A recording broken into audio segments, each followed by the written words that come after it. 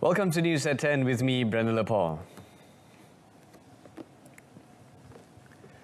The Malaysian Election Commission EC has confirmed receiving an official notification from the Sarawak Chief Minister Datuk Patinggi Abang Johari Tun Openg regarding the lifting of emergency in the state yesterday.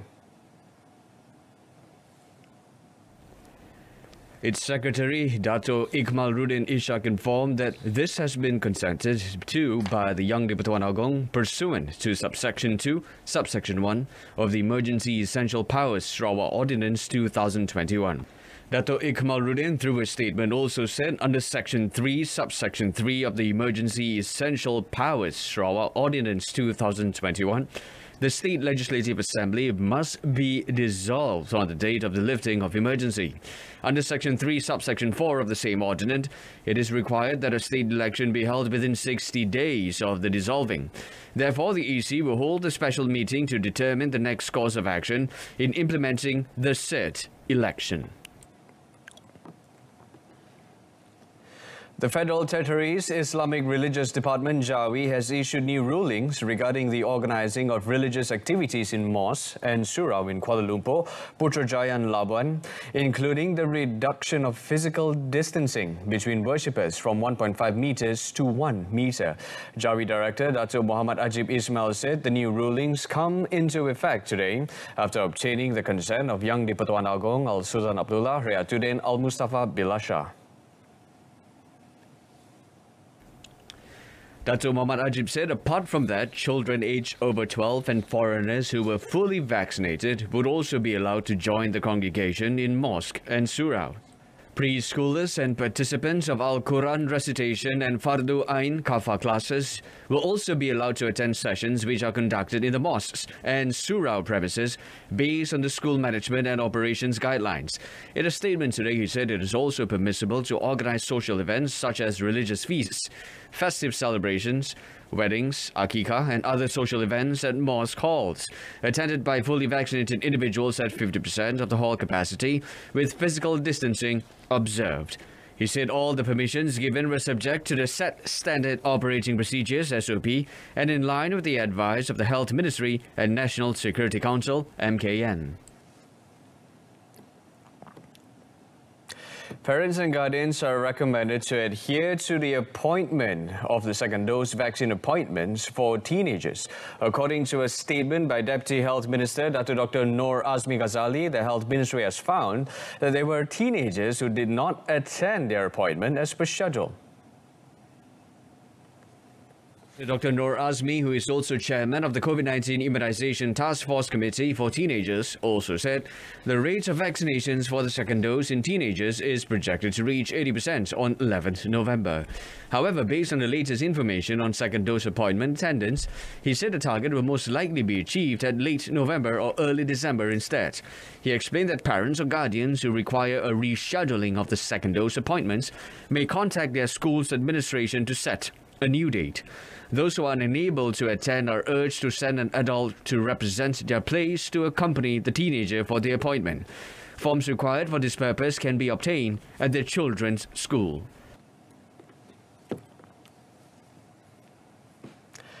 Hindus are celebrating Deepavali in a lively atmosphere this year compared with last year, as they now have the opportunity to return to their hometowns and villages to celebrate a meaningful day with family, relatives and friends. Clad in traditional colorful attire, and yet they still adopted new norms to curb the spread of the COVID-19 pandemic by adhering to the standard operating procedures SOPs set. Temples across the country are also taking precautionary measures by adopting the SOPs set by the Ministry of Health MOH. In Selangor, a check at the Sri Maha Mariamman Devasthanam Midlands Temple, Section 7, Shah Alam, found devotees queuing up and scanning attendance on the MySejahtera application, as well as taking body temperature before entering the temple to pray.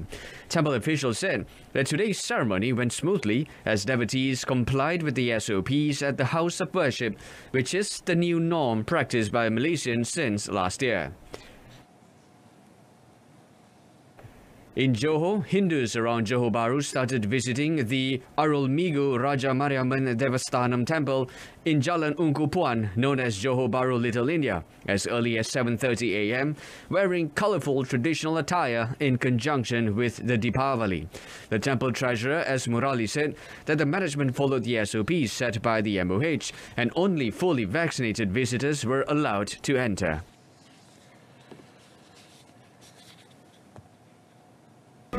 Uh, orang datang lebih dalam ikut SOP dia ikut masa.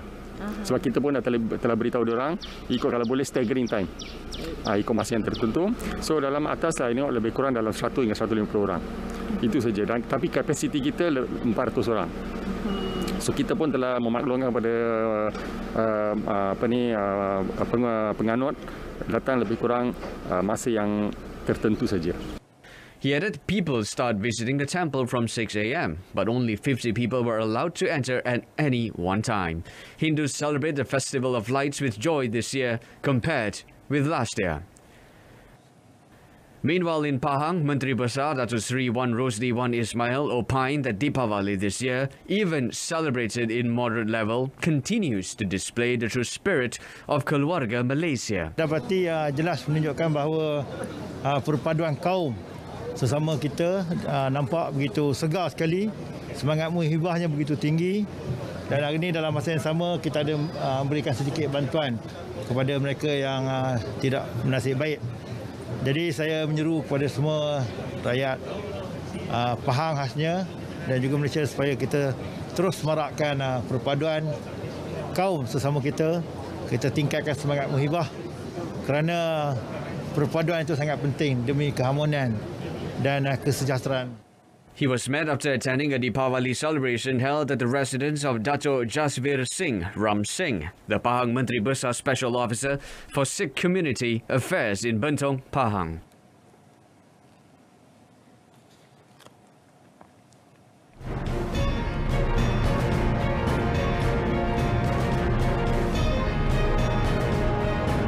Up, police foil tires smuggling a tan from Singapore. Stay tuned.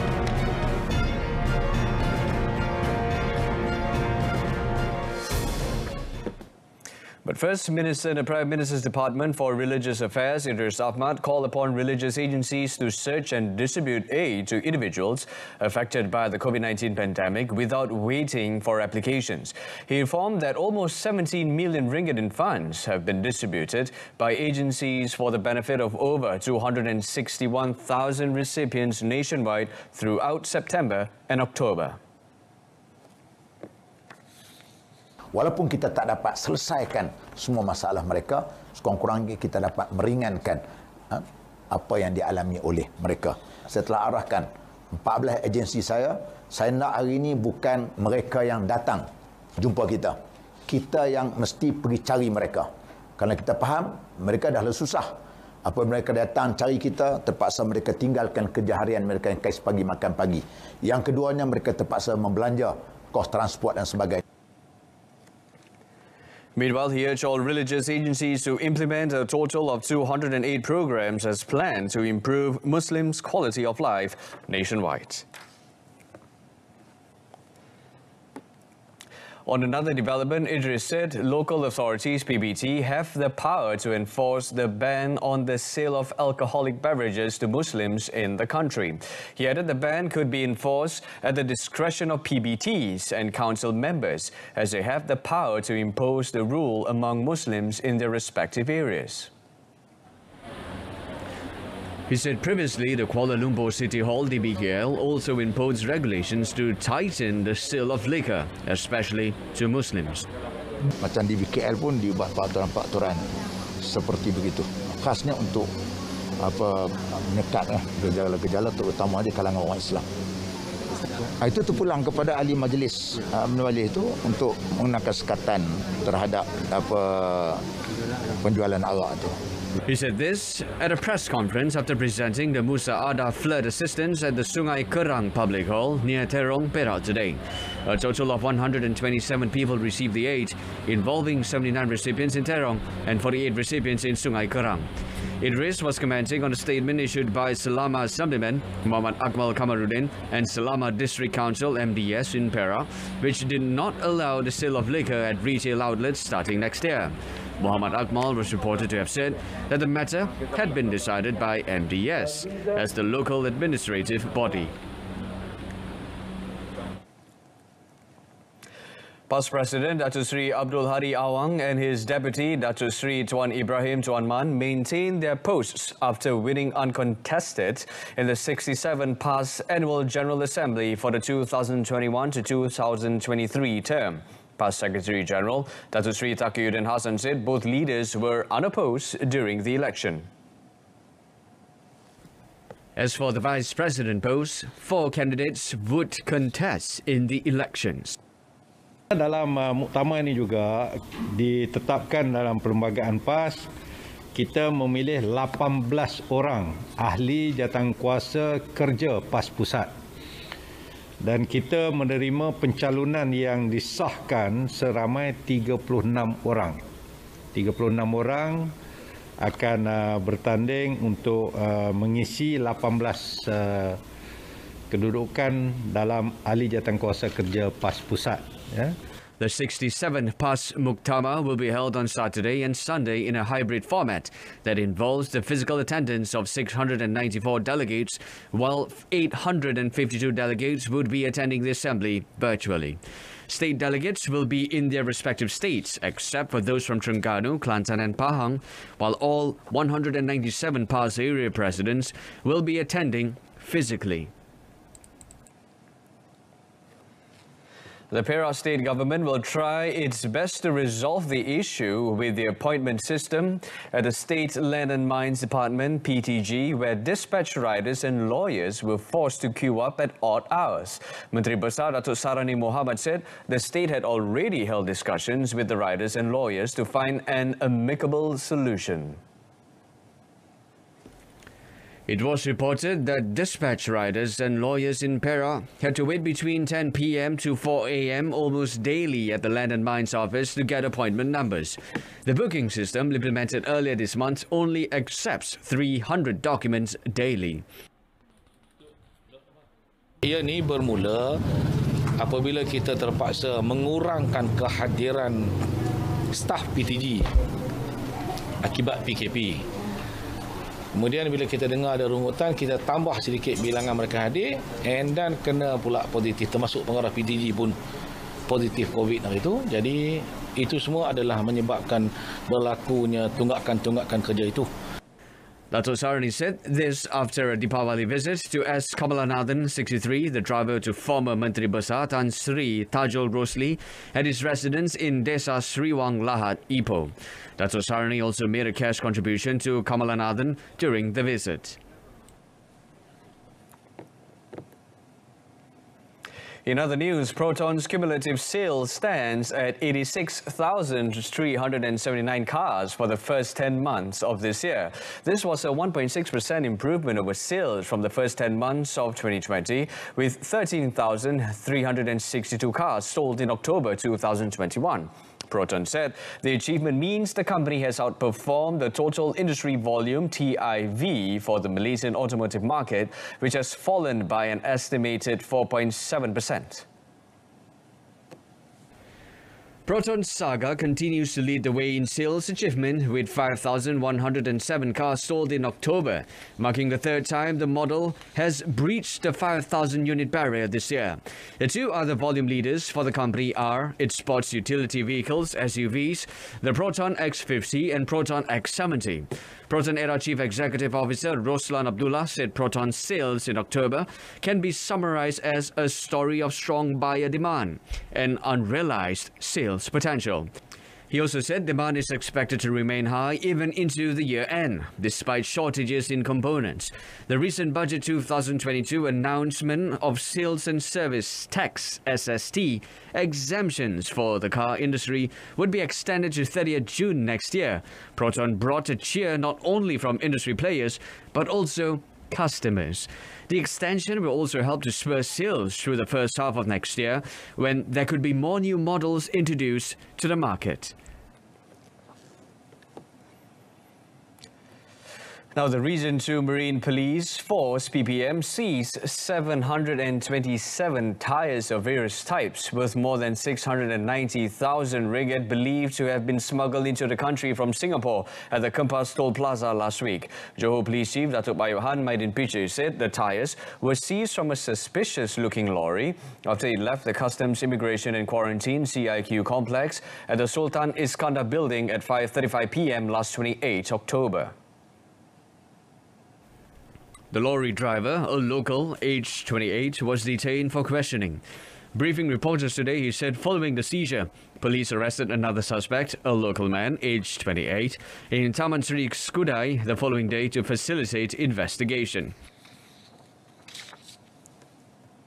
Kita sedang uh, berkolaborasi rapat dengan pihak custom untuk melihat di manakah ada uh, kekurangan ataupun uh, ketirisan kalau kita lihat daripada surat siasat awal kita ke atas pemandu lori ini, dia memang ada access card. Lori ini bila diisytiharkan masuk ke Singapura kosong. Bila keluar pun diisytiharkan kosong. The lorry driver was remanded for seven days, starting from 29th October until the 4th of November. While the second suspect was remanded for two days from 30th until 31st October, and the case is being investigated under Section 135, Subsection 1, Subsection D of the Customs Act 1967. Asked if there was a possibility of insiders from the CIQ being involved in the syndicate, Dr. Ayob Khan responded by saying that the matter was still under investigation.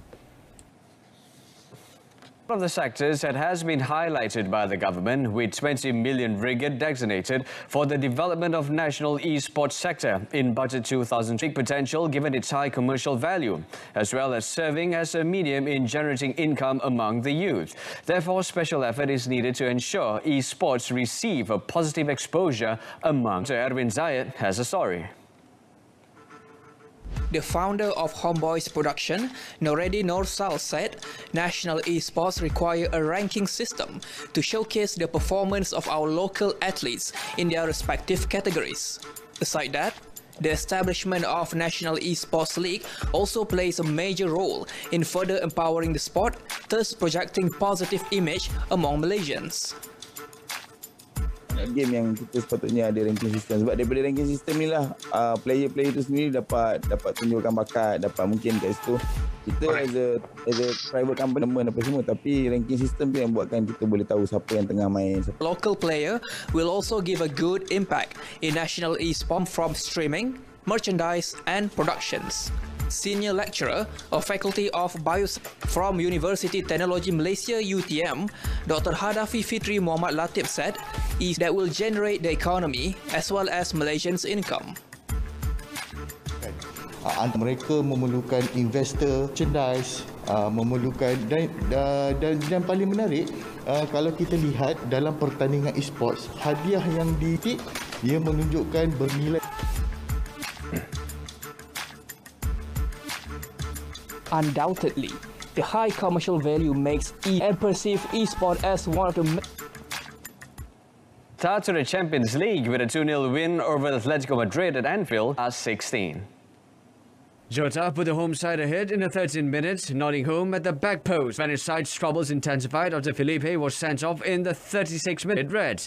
Diego Simeone's Simeone dominated possession and saw First place Liverpool are on 12 of 16, having won four games in third with four points behind Porto. Draw with bottom side AC Milan. Moving on to tennis, and seeded Carlos Alcaraz out ATP 1000 Paris Masters, who came into the tournament of a semi-final run at last week's Erste Bank Open in Vienna that reaped dividends with a strong Sinner twice recovered three break points in the second set at 1 all and 2 off, having come up with a big serve 5 all, 15-40 when the Italian struck a forehand into the net. Alcaraz, who had beaten Sinner 6-2, 3-6, 6-3, as an unranked 15-year-old, out his 27th match win of the